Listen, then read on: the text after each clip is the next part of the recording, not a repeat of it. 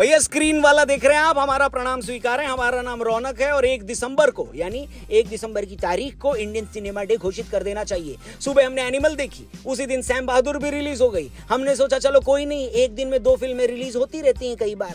लेकिन फिर इसी साल आने वाली दो और बड़ी फ़िल्मों ने अपना अपना शक्ति प्रदर्शन किया। दोपहर में शाहरुख भैया ने डंकी का ड्रॉप थ्री रिलीज़ किया, जो कि सोनू निगम का एक गाना है। और फिर प्रभास अन्ना ने डिसाइड किया कि मैं पीछे क्यों रहूँ? एक दिसंबर की रात को सालार के पाँच ट्रेलर रिलीज़ किए गए मतबल ट्रेलर एक ही था, पाँच अलग अलग भाषाओं में था।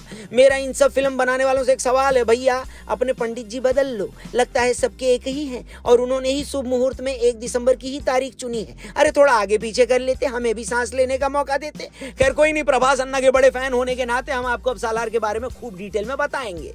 क्या होता है ना जब बैक टू बैक इतनी सारी चीज़ एक साथ रिलीज़ होती है तो आप एक दूसरे से कंपेयर करने लगते हो। अब सैम बहादुर तो अभी हमने देखी नहीं है एनिमल देख कर आए थे, उस फ़िल्म ने मुझे बहुत हिला डाला। रणबीर कपूर की परफॉर्मेंस इतनी ज़बरदस्त रहेगी क्या बोले? पूरा सिनेमा वॉचिंग एक्सपीरियंस शानदार रहा और उसके बाद शायद कुछ पसंद आना मुश्किल है, इसलिए मैंने सैम बहादुर सेम डे देखने की कोशिश नहीं करी। लेकिन सालार का ट्रेलर देखने कहीं जाना नहीं था फ़ोन पर ही आना था तो देख लिया। और सालार का ट्रेलर देखने के बाद पहला रिएक्शन ये था कि ये क्या बवाल चीज़ बना दी हो भैया। मामला प्रॉमिसिंग तो लग रहा है, लेकिन ऐसा नहीं है कि और बेहतर नहीं हो सकता था। हो सकता था और बेटर पहले हम आपको ये बताते हैं कि ट्रेलर में है क्या।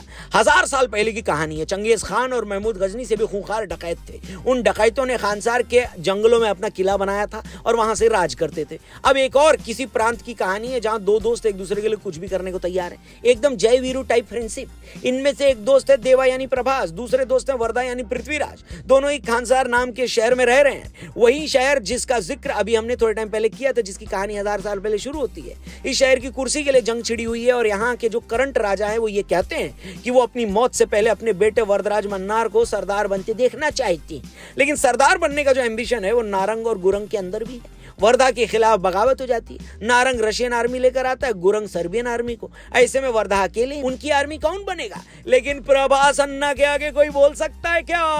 वर्धा अपने दोस्त देवा के पास जाता है, जो कि वन मैन आर्मी है, और मेरे ख्याल से फ़िल्म इसी बारे में होगी कि किस तरह देवा वर्धा को सरदार बनाता है। फ़िल्म के ट्रेलर को लेकिन भैया मिक्स्ड रिएक्शन मिले हैं। प्रभास अन्ना के जो फैंस हैं, वो इसको ट्रेलर ऑफ़ द सेंचुरी बता रहे हैं। और शाहरुख खान को सलाह दे रहे हैं कि डंकी पोस्टपोन कर दो शाहरुख खान। वहीं शाहरुख खान के जो फैंस हैं वो ये कह रहे हैं कि उन्हें ट्रेलर देखने के बाद चैन की सांस आई है, क्योंकि डंकी सेफ़ है। ट्रेलर जो फ़िल्म की कहानी बता रहा है, उनके हिसाब से कहानी स्ट्रेट फॉरवर्ड है और समझने में सिंपल होगी, यानी ब्लॉकबस्टर होने की संभावना है। लेकिन मुझे एक बात समझ में नहीं आती कि आपका सबसे बड़ा सेलिंग पॉइंट प्रभास है। और उनको ट्रेलर में इतना कम स्क्रीन टाइम काय को मिला। फ़िल्म के प्रोड्यूसर जिन्होंने के भी बनाई थी, और ट्रेलर देखकर आपको ऐसा लगेगा कि के का ही चैप्टर थ्री बनाया गया। नहीं नहीं, कहीं कहीं। खानसार नाम की जो जगह है, उस पर ब्लैक फ़िल्टर लगा हुआ है। अगर प्रभास का गेटअप न बदला होता तो ऐसा लगता है कि वो आदि पुरुष की लंका ही है, जो सोने की जगह कोयले की है। कहने का मतलब ये है कि ये ट्रेलर देखकर आपको लगेगा कि और बेहतर हो सकता था ब्रो खैर, आपका सालार के ट्रेलर पर क्या रिएक्शन हमें कमेंट करके ज़रूर बताना। वैसे हम तो